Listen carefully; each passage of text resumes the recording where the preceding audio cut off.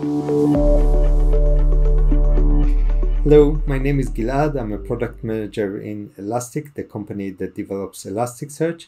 And in this video, I'll demonstrate how to create a runtime field. We'll create a runtime field that contains the day of the week and we'll calculate the day of the week uh, using the date, which is in another indexed field. Runtime fields are our implementation of uh, schema on read. That means we calculate the value of the field per document at the time a query requires it. This method allows you to add, flexibly add fields even after do the documents have been ingested. Let's get started.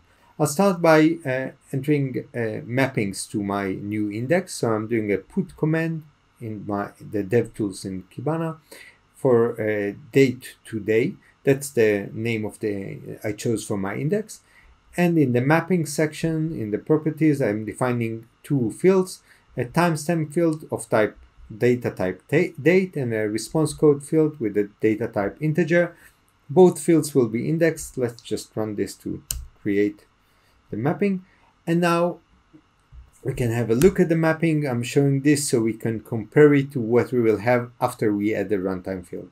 So you see the two fields here, timestamp and response code. And now we can load a few documents so we have something to work with. All those documents have the response code with an integer and the timestamp with the date. To bulk load and that's it. Now I'll start by creating a runtime field in an ephemeral way. So this runtime field will exist only within my query. It, it's not added to the mapping. Um, it's useful to experiment and it's also useful when you have fields that you don't want everyone to be using that are just relevant for one particular query. So I'm running a get to my date-to-date index and I'm calling the underscore search API. But instead of starting, starting with a query, I'm starting with a runtimes map, runtime mappings section, which is where you define the ephemeral runtime fields. The field I'm defining is called day of week. And for that field, for this runtime field, I'm defining the data type, which in this case will be a keyword, and I'm defining a script. The script indicates how the value of the field should be calculated. The script is written in the painless scripting language. The syntax is similar to Java and it exposes uh, Java libraries. We use painless because it's both fast and secure. In the source, I'm starting with uh, three double quotes. Whatever value I want to eventually put in the field, I have to emit. So I'm putting the, the value inside emits and brackets let's take some more space so we can see it in one line. And in there, I'm starting my calculation from the value of the timestamp field, which is where I have the date. And this is the syntax for getting the, the value of the timestamp uh, field. So I put time timestamp in single quotes, in square brackets, I put doc before that, and I'm asking for the dot value because I want the value and not some other attribute of that like length or something like that. On that, I'm running the Java method day of week enum. This method will provide me the an integer that uh, signifies the day of the week. Uh, that's a very good start because it's calculated from the day. But what I really want is the three letter representation of the day so I can use it directly in a visualization. So on that, I'm running the get display name. So I do dot get display name. And I have to provide two parameters. One, the, the type of string I want, in this case short, which is the three letters. I can use the, the full to get the, the full day name of the day and the locale.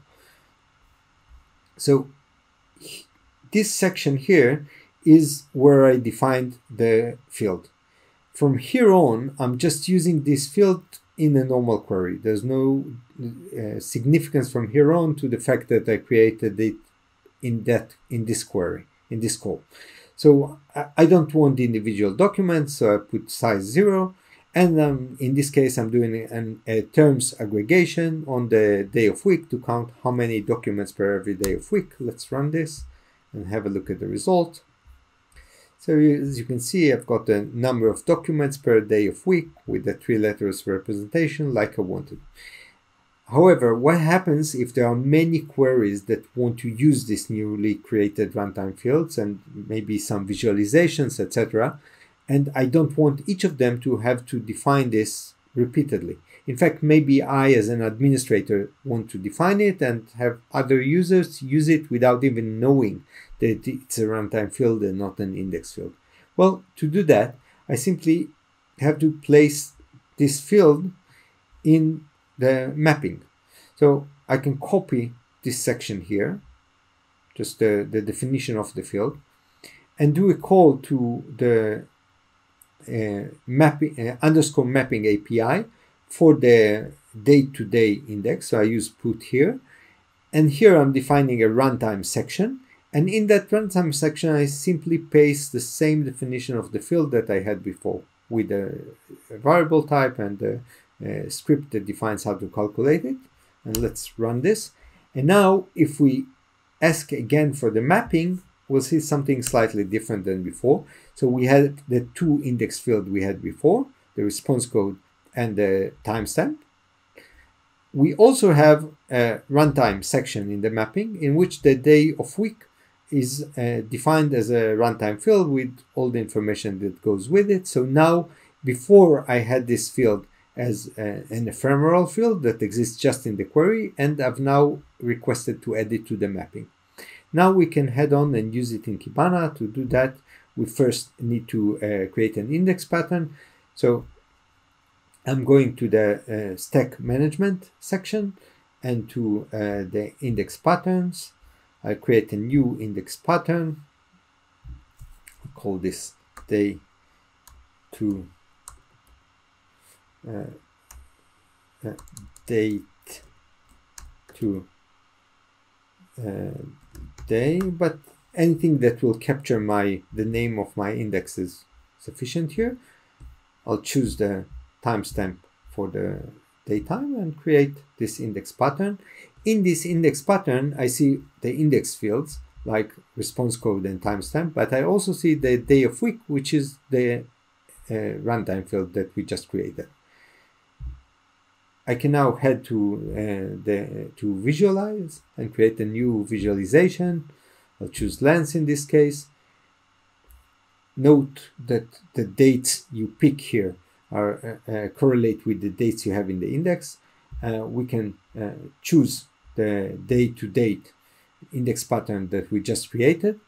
And there we have the three fields, the two index fields and the one runtime field as a user that's creating a visualization, I don't need to be aware of this. I can simply drag the day of week here and I've got a visualization using this field and I can take the response code and uh, break it down by response code. And as a user, I don't need to be aware that response code is indexed and day of week is uh, calculated.